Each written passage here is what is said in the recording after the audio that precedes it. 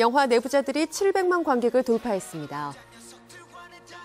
영화진흥위원회 영화관 입장권 통합 전산망에 따르면 내부자들은 개봉 42일째인 지난 30일 오전 9시 누적 관객 수 700만 9,900여 명을 모았는데요.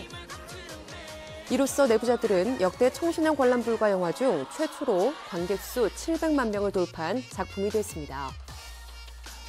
한편 오는 31일에는 내부자들의 감독판인 내부자들 디 오리지널도 개봉해 그 열풍을 이어갈 전망입니다.